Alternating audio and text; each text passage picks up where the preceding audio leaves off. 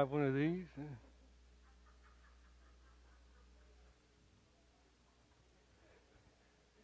When I purchased this, the directions said you had to be uh, over 16, and um, let's see if I can go over here.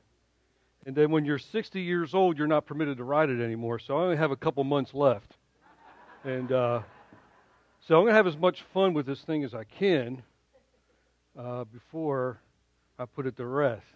Anyway, it really helps. I have a I have a disease that's out there. It's not called laziness. It's uh, it's called Morton's neuroma, and uh, you kids can't ride this thing, and uh, they've been begging to drive it, and uh, so I've made some enemies with it as well. Uh, if you open your Bibles to uh, 1 Corinthians chapter 15, I'd like to share a message from 1 Corinthians chapter 15. And as Rick prayed, we're going to talk about the uh, resurrection of the body. We're talking about the future, what the future is going to behold for the Christian. And uh, 1 Corinthians chapter 15 uh, really draws a picture for us of uh, what's going to happen to our bodies in the afterlife. So I want to share that. Share that. Uh, we'll be looking at verse 42 through 49. Uh, but I want to start, it's not on the screen, just a few verses before that, just to give a little background on what Paul is talking about here uh, when he talks about, when he begins to uh, defend the resurrection of the body uh, for the Christian. And so let me start with those verses, and then we'll th- ask, God's for, ask God for help uh, as uh, we seek His will, as we read His Word. Verse 35 says this But someone will say, How are the dead raised? And with what kind of body do they come? Paul says, Then you fool, that which you sow does not come to life unless it dies. And that which you sow, you do not sow the body which is to be, but a bare grain, perhaps of wheat or something else. But God gives a body just as He wished, and to each the seed of the body of its own. Verse 42 So also in the resurrection of the dead, it is sown a perishable body, it is raised an imperishable body. It is sown in dishonor, it is raised in glory. It is sown in weakness, it is raised in power. It is sown a natural body, it is raised a spiritual body. If there's a natural body, there is also a spiritual body. So it is written the first man, Adam, became a living soul, the last man, a life giving spirit. Pray with me. So, Father, as we come into your presence, we recognize that you're the one who gives us our new body. But first, we are like the seed of a plant. The seed is different than that which it produces, the plant, like a corn kernel. Doesn't look like a stalk until it dies and then grows. Father Paul is explaining the same thing about our human bodies. We are only the seed of what we will be in the resurrection. So, Father, I pray now as we contemplate these things that you would open our hearts, that we would open our own ears to hear, that we may apply the word to our hearts.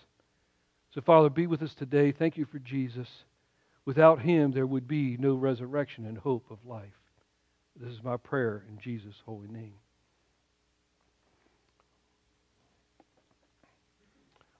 So, about a year and a half ago or so, John, Chuck, and myself decided we need to start exercising and uh, getting a little round around the edges and a little flabby here and there. And so we wanted to tighten up our muscles. So we started a walking program. And uh, also, we went down to the Rascal Center, better known as the Pascal Center, and started uh, doing some treadmill and working out and everything. Well, during that time, I got a disease called Morton's neuroma. Have you ever heard of that? I think the doc probably has heard of that. And uh, is there a picture up there of an ugly foot? Is it up there? And see, or is that? There it is. But anyway, neuroma is between the metatarsal bones, and it's a nerve that gets irritated, and uh, and it swells up uh, your foot on the bottom where your where your uh, ball of your foot is. And right now, and that's why I have that riding machine right there. There's there's puffiness or swelling. It feels like marble sometimes on the ball of your feet, and it never goes away. It is a permanent condition. And so, you know, obviously you start looking into it, saying, how do you get this thing fixed? And uh, they have an operation where they cut your foot open, the top of your foot, and you go down about halfway, and supposedly that neuroma sticks out, and they cut it off. And uh, that's supposed to cure the problem. But then I found out as you do more research, it comes back within a year for some people.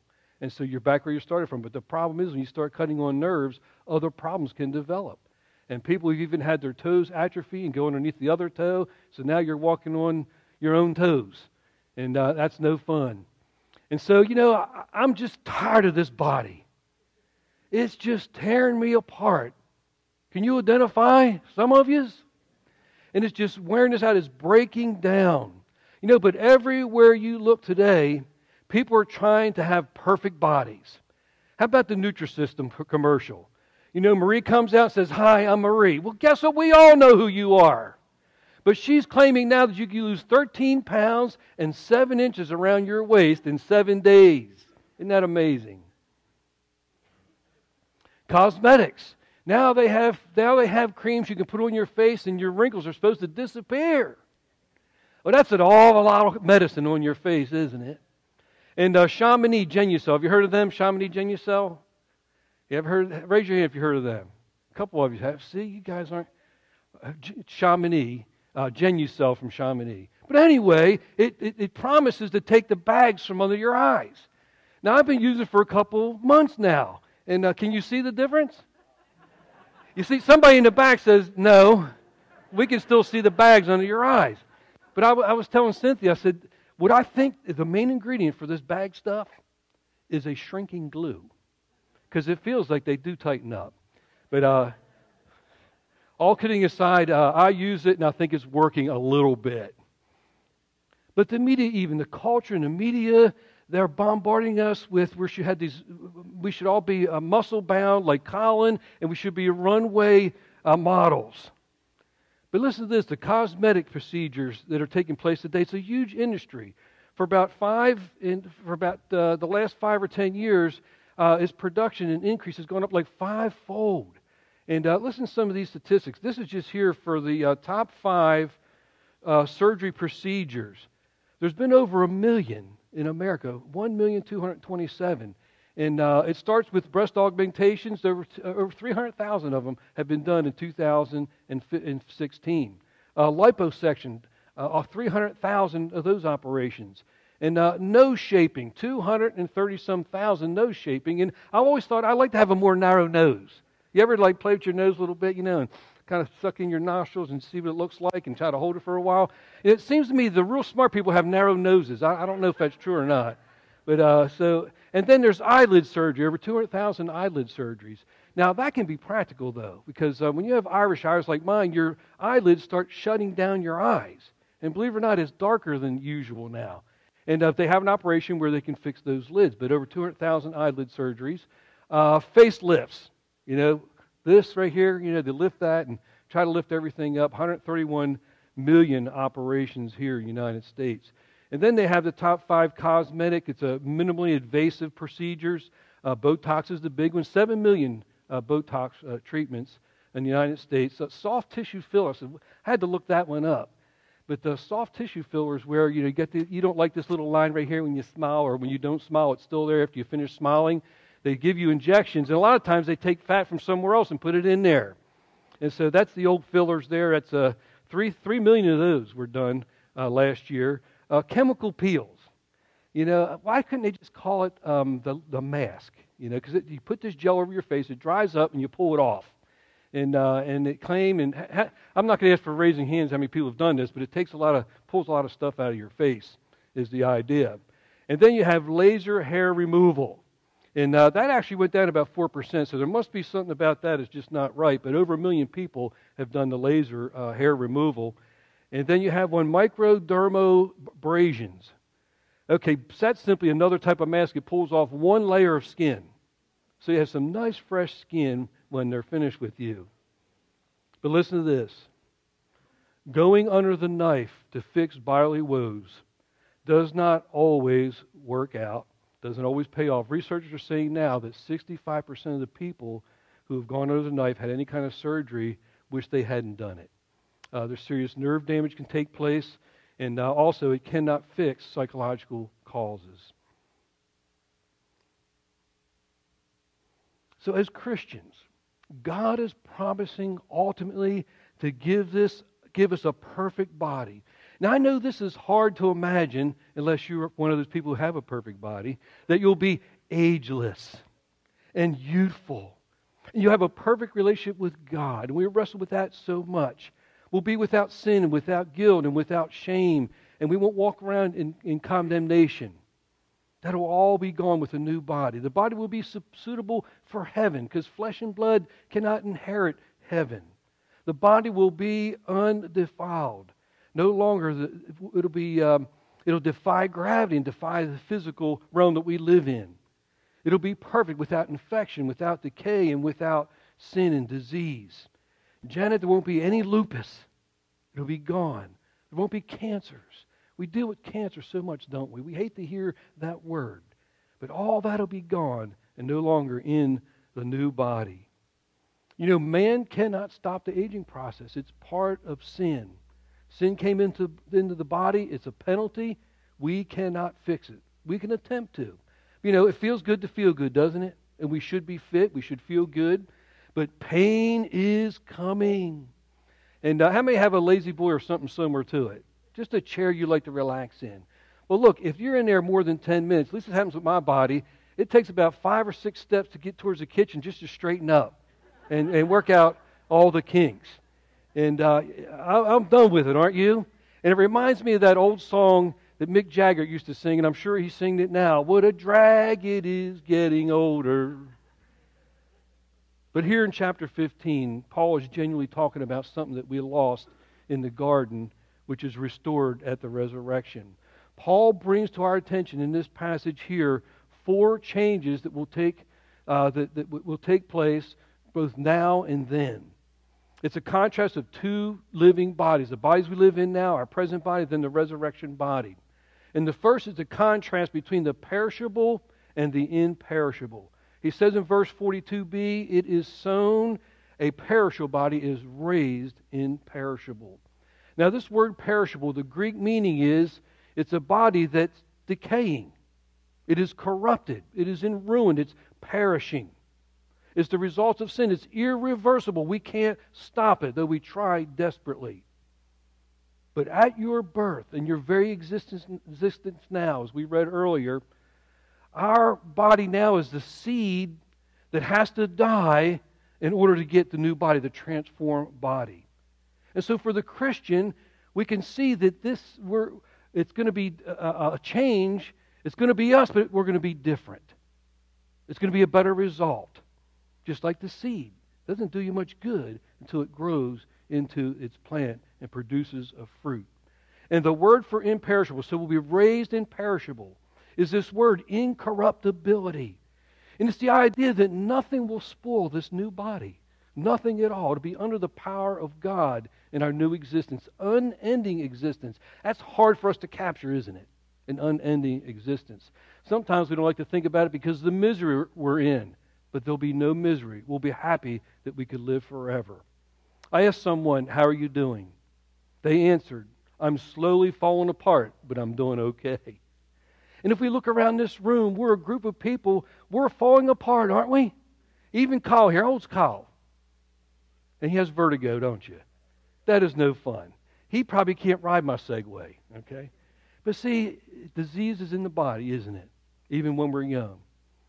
So some of you came with walking sticks, some in wheelchairs, uh, some with walkers. Uh, I'm going to Segway for crying out loud. I don't, I don't like that thing. It's fun, but it's necessary. But some have um, uh, uh, concealed hearing aids. And uh, don't raise your hands when I go through these. Some of you have spectacles, and uh, some of have eye uh, surgery uh, uh, done because of cataracts, but they put new lenses in. Isn't that nice? Why can't they do that now? We have to wait till we have cataracts. But some have plastic knees, plastic hips, plastic so, uh, uh, soldier shoulders. we don't need plastic soldiers. But some of us, some people can be classified as bionic. They have so many things have been done to their body. Then we have dentures, implants, and bridges, right? Uh, bridges to nowhere. We color our hair, and some people don't have hair to color. So we're, we are falling apart, aren't we? We're just falling apart. And so the new body is different. He says it's raised imperishable, it never will decay. You know, people won't ask you in heaven, hey, uh, you're aging well. Things are looking good. You know, but down here you get a bit, a little, a little bit of white hair, and people think you're 10 years older than you are. And uh, all through the years, I've been in, have been uh, tempted to use Grecian formula. But one time I opened one of the bottles in the store, and that stuff stank. So I said, "No, I'm not going to do it." But have you ever? And we've all had these moments when you're in a moment and it's just good. And you don't want to leave that moment. You want to hold on to it. You don't want the sun to go down. You want time to stop. It's just a moment, a precious moment. And um, when Judy and I went out to California, we went to the redwoods and we, in the morning, and uh, we came out of the redwoods, and we're sitting on this ledge, and there's a big beach below us, the Pacific Ocean, just blue as can be. Rocks coming out of the ocean uh, that God set in their place uh, after Noah's flood, birds that we've never seen before, uh, uh, um, seals you know, out in the water, you know, and the water's glistening, and we're sitting up there and having lunch on the side, and the redwood trees are behind us. I mean, it was just one of those moments you just stay right here and just absorb it, bring it in. And uh, camping. How many people like camping? And uh, camping, you get out there, you know, have one of those days it's just beautiful. And I like it just as the sun's going down because, you know, the campfire's coming and and, and you're cooking marshmallows on the campfire and just telling stories and reminiscing. You just, you just want to stay in that moment, don't you? And, uh, but that's what's coming. It's hard for us to imagine. But in that new body, in that resurrected body, in that imperishable body, we're going to stay there. Jesus said when he sanctified the church, it says we'll have no spot or wrinkle. That's another thing about aging. How many spots you have now? I mean, they're just growing. So I went to the dermatologist, you know, and, and um, I'm saying, you know, why doesn't Kaiser pay for all the tags I have? I'm going to get rid of them. She goes, look, we can't pay for them, but it only costs you about a hundred bucks. I said, does it matter how many you have? She said, no. And I started counting one day. I just don't want to count. But we're, but we're just, we're getting older. But can you imagine? No more spot, no more wrinkle. But it also says holy and without blemish. And that's freedom, isn't it? And that's what we have to look for. He's going to raise us and we're going to have a perfect body. It may not be cut the way we think perfection, but it's going to lose all of those impurities. Number two, contrast number two, it says it's sown in dishonor, it's raised in glory. That's verse 43. Sown in dishonor, it's raised in glory. Dishonor means it's sown in disgrace, in shame. It's under this curse of sin. And we deal with this every day, don't we? We, we deal with the dishonoring of our body because of sin. And it just doesn't go away until we're in the grave but it says it's raised glorious. And I really like the first definition of this word when you look it up in the original language. And it says that we'll be raised in a praiseworthy body. Now, we don't always feel praiseworthy, do we? And it's because of sin. It's because of the imperfection uh, in our body. It says we'll be raised praiseworthy. And the idea is it's the very highest state of our being. It's the highest potential that God had in mind for human beings. I was looking up the other day. You know, Noah didn't start building the ark until he was 500 years old. They think 500 years old, you're pretty shriveled up. But he was 500 years old. We began to build the ark. He lived 350 years after the flood. He was 950 years old. That was pretty glorious, wasn't it? And then uh, Civil Chef, is that what it is, George? Uh, he's the guy that lived 969 uh, years old. Methuselah. Methuselah, that's who it was. Methuselah. The other guy was David's enemy. But uh, so he lived 969 years. I'm thinking, why didn't they round it off? I like even numbers. How about 970? And uh, Judy probably liked the 969. She likes odd numbers. But think about it. Maybe we'll be able to use 100% of our brain. And look at the potential already of human beings.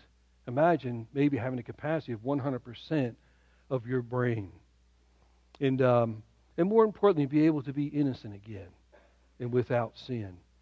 So all of us have come to the point in our life where we look in the mirror and we say, Mirror, mirror on the wall, you got to be kidding me. Sags, bags, tags, and no abs.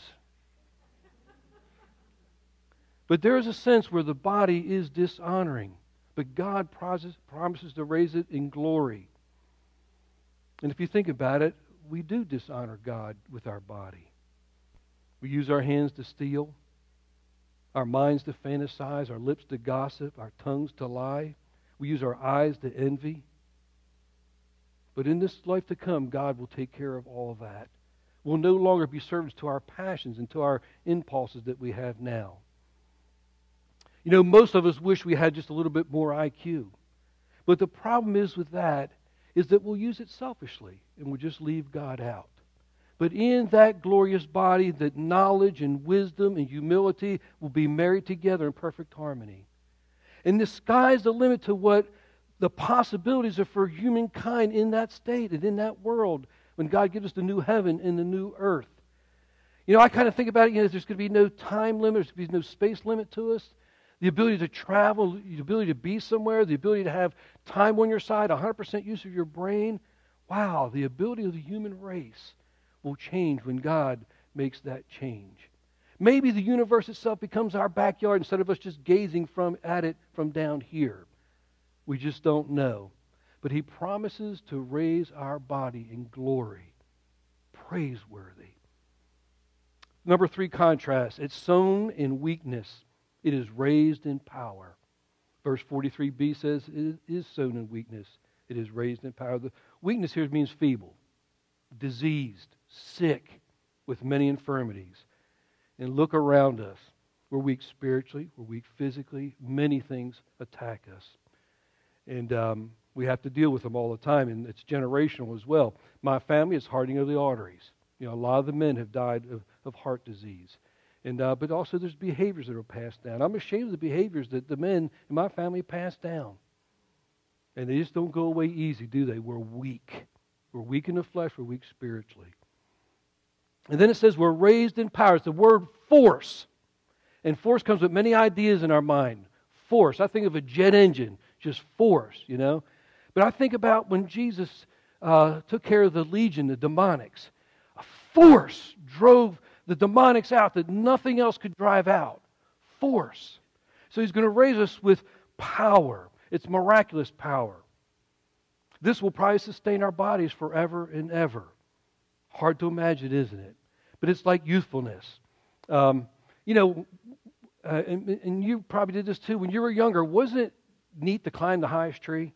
Just pick the highest tree and climb up the highest tree. No sweat. Just go, you know? And, um, and how about running? Uh, running like the wind. Remember, you can run with the wind. Wind's blowing, you, you catch up with the wind. You ever do that? Yeah, youthfulness. I remember coming out of school, and uh, our school was really close to the, uh, put it this way, it was shouting distance of my father when he said, Come home for supper. So I played basketball after school. I could do that. And sometimes we'd be out there in the heat and on that asphalt for hours. It seemed like the body never ran out of energy. And so it's going to be raised in power. Have you ever noticed that everyone wants to live longer, but nobody wants to get old? Isn't that true? Somebody said it like this growing old is no fun. And I'm going to quote Mr. Joe Gibbs. He says, Getting old isn't for sissies. have you heard the five B's of middle age? I'm sure you have balding, bifocals, bridges, bulges, and bunions. Man, I hate those words, don't you? You see, we, drag, we brag about our strength, but a tiny microbe can kill us. About two Sundays ago, I had some bad seafood. I don't know if it was, it was the uh, crab soup, it was a cream of crab, or if it was a shrimp salad sandwich. But I'm telling you, I almost passed out. You ever almost passed out from food poisoning? And uh, it, took, it took a couple of days for me to recover from that. Jesus in the garden comes back to the apostles. They couldn't stay awake. He said, The flesh is weak, but the spirit is willing. We just lose to sin too often, don't we? So we're just weak. But in contrast to this weakness, he's promising that the body in the resurrection will be miraculous. Now, Paul says this. He too addressed the resurrection issue with those in, in the Thessalonian church. And he told them, here's what's going to happen. In verse 17 of chapter 4, it says, We're going to meet the Lord in the air. Those who fell asleep and have gone before us are already with Jesus. They come back with him. But if we're alive, we're taken off. And we're going to meet him in the air. Now that's power, isn't it? Can you imagine that? In this body, I don't want to be more than four foot off the ground, do you? But can you imagine lifting up, having that transformation at that moment? It really is hard, isn't it, in our minds to pick that up. But by faith, the Bible's telling us these things. And God wants us to know them, He wants us to embrace them. Think for a moment about Lazarus.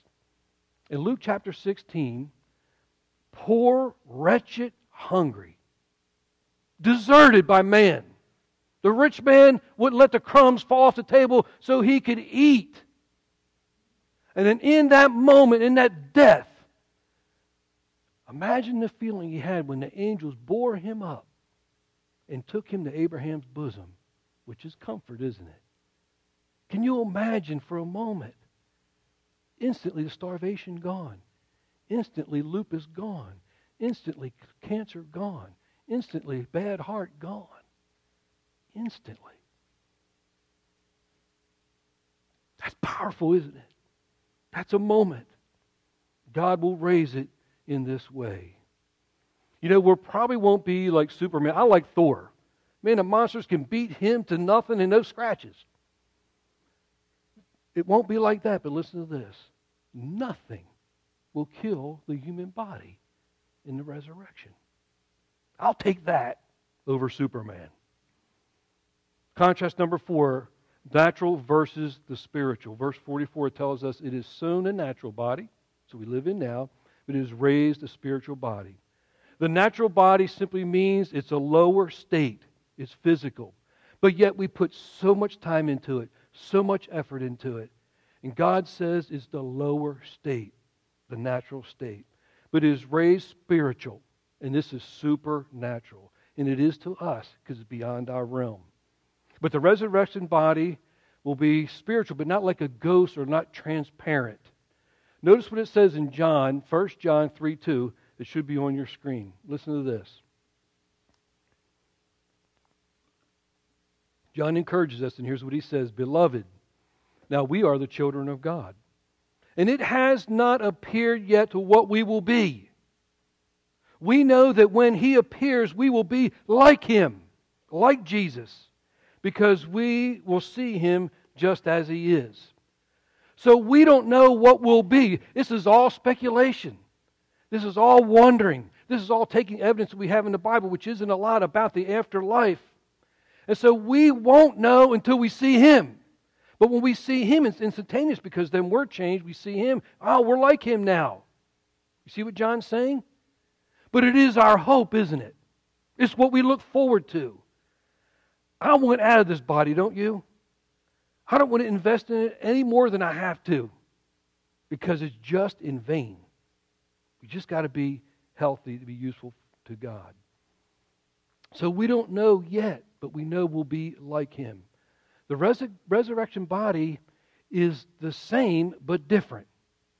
That sort of doesn't make sense, but it does make sense, doesn't it? It's like the corn kernel. We know what's going to come out of it when it's planted. We know that when we resurrect, it's going to be us, but it's going to be different. And it's going to be better. And it's going to be powerful. It's going to be miraculous. And sometimes that's hard for us to swallow, but it is. But here's some of the things, properties, if we're going to be like Jesus, here's some of the things that he had, and you know about this, you've read your Bible. He did have a bodily resurrection, he was in the body. He says this himself in Luke 24 39. He says, See my hands. See, it's me, myself. Touch me, see.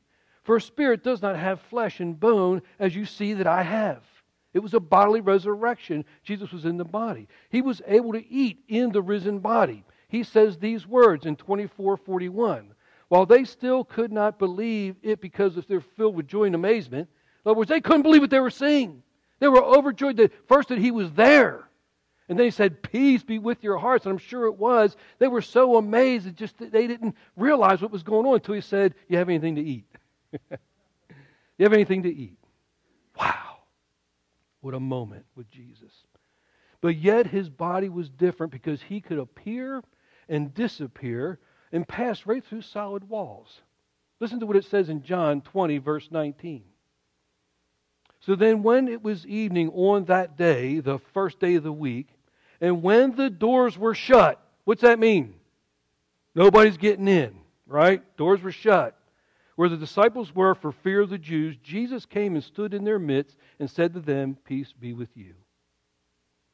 So Jesus could appear also in a different form. In Luke 16 12, notice what it says. After that, he appeared in a different form to two of them while they were walking along a way into the country. Jesus could ascend through the atmosphere directly into heaven in bodily form. It says that in Luke 24 51. While he was blessing them, he parted from them and was carried up into heaven. We're going to have a perfect body, but not perfect the way we think it's going to be perfect. It'll be the same, but it will be different. It'll be a mystery. We do not know what we will be, but we will be like him imperishable, glorious, powerful. Remember JJ, dynamite? That's what it's going to be. But it's going to be spiritual as well. You know, now we fight to be spiritual, don't we? We have to work at being spiritual. But it's going to be a spiritual body completely. Listen to this in Philippians 3 20 and 21. For we are citizens of heaven. You know that's in the present? We now are citizens of heaven. It's so easy to get caught up in our citizenship here, isn't it? Especially with our political atmosphere the way it is, it just makes you sick in the stomach if you let it, doesn't it? But listen, as a Christian, our citizenship is heaven, not here, temporary. Don't let it get you so down that you lose the joy of your salvation. We are citizens now in heaven, from which also we eagerly wait for a Savior. You're waiting for Jesus? I just don't know if we are. I think maybe we're waiting for the next show or the next movie or the next meal or the next restaurant. Am I wrong? It's so easy to get caught up in the attractions of this present society.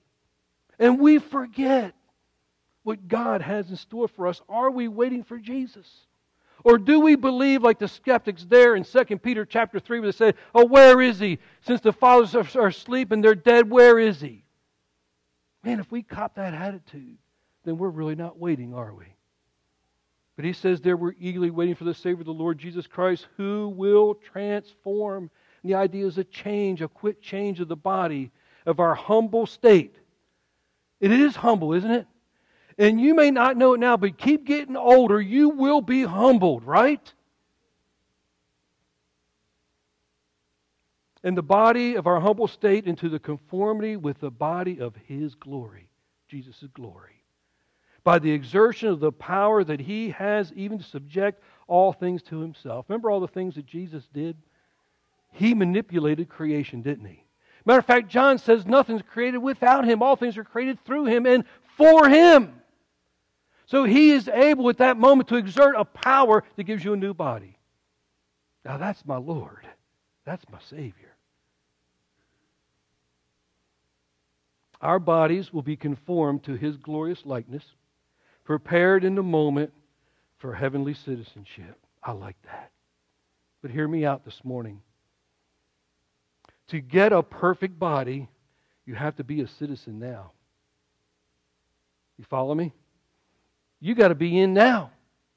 And so many folks are either waiting to the for the end, their end of their life, but you don't know when it's coming, do you? You don't know. Nobody knows their time, do they? But it can come. Look again in your Bibles at chapter 15, 1 Corinthians. I'm going to read a few verses here. Verses 50 through 58. This is the rest of the story. Now I say this, brethren, that flesh and blood cannot inherit the kingdom of God, nor does the perishable inherit the imperishable. Behold, I tell you a mystery. We will not all sleep but with the but we'll all be changed in a moment, in a twinkling of an eye, at the last trumpet, for the trumpet will sound, and the dead will rise imperishable, and will be changed. And that's a moment, isn't it? Are you waiting for that? Are you listening for the trumpet? Are you waiting for it to sound? And uh, you know, the first instrument I played in elementary school was a trumpet. And here's the only reason why because I like Herb Alpert and the Tijuana Brass. Some of you remember him. That's the only hit he ever had. But there's a trumpet, and it's going to sound. It's going to be a blast that the whole world will hear. And it says in that moment, a change will take place. Faster than you can twinkle your eye. And if you're in the body, it will be changed according to God's power. But when this perishable will have put on the imperishable, and the immortal will have and the mortal will have put on the immortality, then will come about the saying that is written, Death is swallowed up in victory. O death, where is your victory? O death, where is your sting? And so, whatever pain you're in, whatever disease is going to grab a hold of your body, or maybe it already has, he's saying this victory in Jesus nullifies all that pain, all that decay, and all that getting old. The sting of death is sin, and the power of sin is the law. But thanks be to God that He gives us the victory through our Lord Jesus Christ. Now, this is for the whole church. You can't end it better than the Apostle Paul. Therefore, my brethren, my beloved brethren, be steadfast, immovable, always abounding in the work of the Lord, knowing that our toil is not in vain in the Lord. We're citizens now, if you're a Christian. And in that citizenship, there's a great expectation that not only we wait for the Lord's return, that last trumpet for our new body, but that we be, be involved in building this kingdom because don't we want our loved ones to have this? Don't we want our friends and our neighbors and those because you were lost at one time and somebody took the time to tell you? That there's a great expectation of a glorious body, a glorious time, a glorious realm.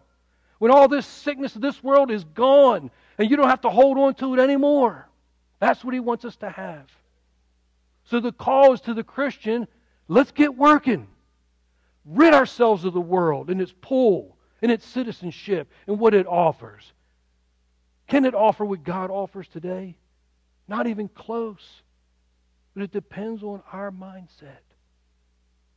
So today, here's an opportunity as we uh, bring up the band, as we come, as we prepare ourselves uh, for offering time. It's also a time to make a decision uh, to be a part of the citizenship of uh, the kingdom of God. He wants us to do that. You know, uh, Joe is uh, as much as uh, I have fun on that Segway, I don't like that thing. And I know you can't get rid of, can't wait to get rid of your walker, can you? But you know, you know what's worse? Knowing that you'll miss the new body that God offers. That's worse. Because we know that sooner or later this body is just going to give out, isn't it? Or old what's his name, Un over there in North Korea is going to send a missile over here and start burning people up. We don't know, do we? Anything. It's just something to contemplate, to get ready for. So before I pray for the offering, it's an opportunity to come forward. And then after our communion time, we'll baptize you into being a citizen of the kingdom. And look forward to that new body that God's offering us. Father, while we can't outgive you, we just can't do it. But Father, we have something to give to, and that's a kingdom without end. Though we are in the physical body, and you give us the ability to labor, and you said labor's a reward, we could give to something that's eternal. To bring lost souls into your fold. To give the hope of eternal life when this body is done, or when something snuffs it out. So, Father, would you bless the offering that builds the kingdom? May we build it together in unity of our Lord Jesus Christ. In his name that I pray.